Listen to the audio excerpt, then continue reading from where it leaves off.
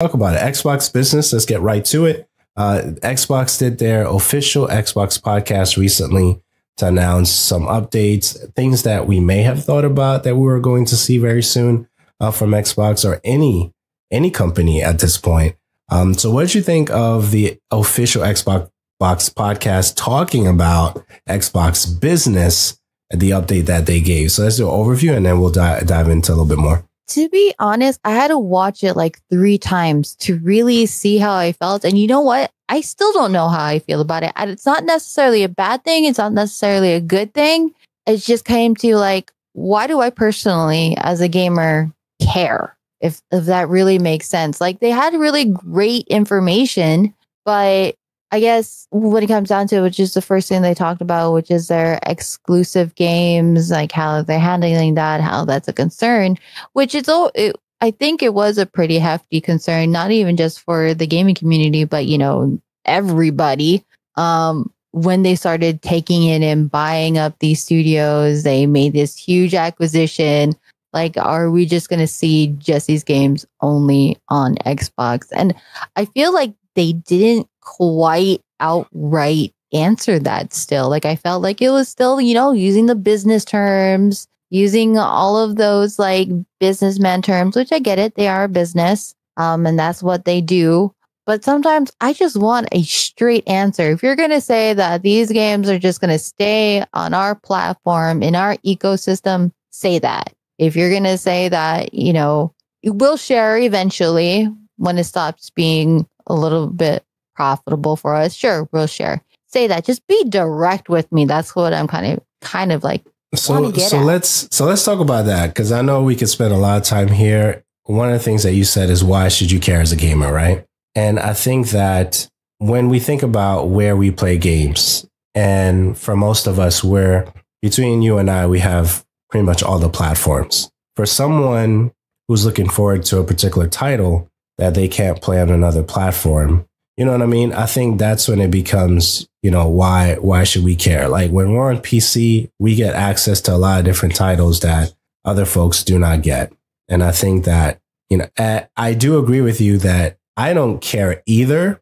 I think it's because of where I am, right? But I, I would care a little bit more if I was either on Switch only or PlayStation only. And then the thing, the thing that you said also, which I find extremely interesting, is that when you think about God of War being anywhere else besides PlayStation, it's still kind of like weird to play God of War on PC when it's been a PlayStation title for so long. You know what I'm saying? So I think like what what do you think about that? I think it's interesting to watch that even happen.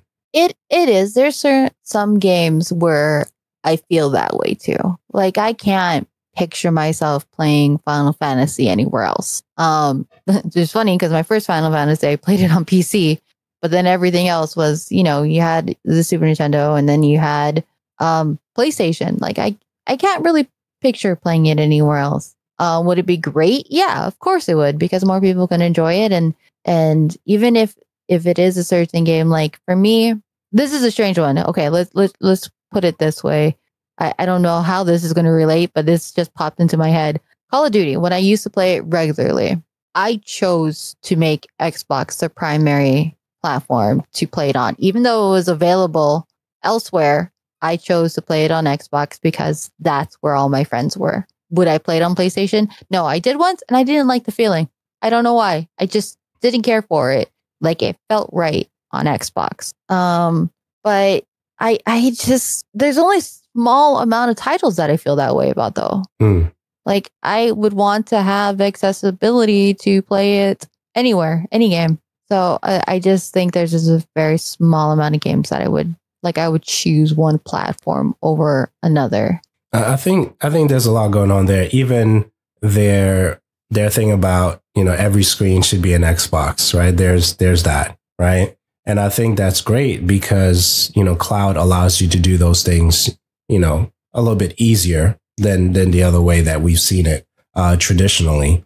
But I don't see Halo on any other platform, even though I don't necessarily rule that out because for a while I never saw Sonic being on any other platform. But once the console, you know, disappeared because that business disappeared for them, then they had to become a, a title that's on all the other platforms as well to make the money that they wanted to make, right? So I think it's an interesting thing to see certain titles, you know, stay on a platform for an extended period of time. And we talk about this before by way of exclusives and stuff like that. But now seeing some of the titles that they're proposing, you know, did you expect some of these titles? Like there's four that they're proposing right now uh, Hi Fi Rush, Pentiment, Grounded, and Sea of Thieves. Although that wasn't announced during the official podcast uh, for Xbox, those are the title that the the world actually agrees that these are the ones that may get the first round,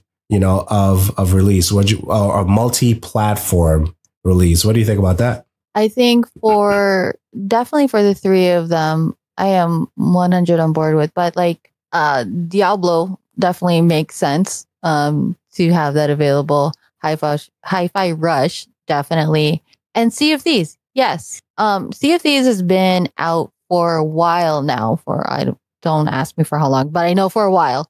Um, and their player base has been pretty strong, I would say. But then it's also very limited as for as long as they've been out. So if they want to expand that, which again, that they brought that up throughout their show about, you know, how how can we expand our player base? How can we expand our revenue? And obviously that is by opening it up to other platforms and making that available for everybody to play. Hi-Fi, Hi-Fi Rush was uh, on a Game Pass thing, so obviously they're not going to have that available for for PlayStation. So you know, make that a paid game mm. on PlayStation. Add to that, and then you have people who are like getting to experience this game. Same thing with Sea of Thieves. Um, but it's like I guess I'm not surprised. I'm yeah. really not. Yeah, I'm not surprised either. I think the other thing too is like when you think about the console sales, you know, currently, I think Nintendo is at 130 million, PlayStation's at 53 million, Xbox is at 22 million, give or take. Uh, VGChartz, you know, check it out to confirm those are approximates there, right? So we know for a while now, Xbox is not necessarily focusing on selling consoles. They're really pushing that we have 37 million, I think they announced for the Game Pass, right? I think that's yeah, what they shared, million. which is a lot of people, right? So they're not really focusing on the console as much as they used to, but they did announce about the, you know, major leap that's going to happen in their next release for the console, you know, when they release that. So, so I think it's interesting to, to watch that even play out. But when you think about what they're considering for those games, it, those are not even games that I'm really like super excited about outside of Hi Fi Rush, right? But we're already playing that. We already have access to that. So, so for me, it was just like, this wasn't a big announcement.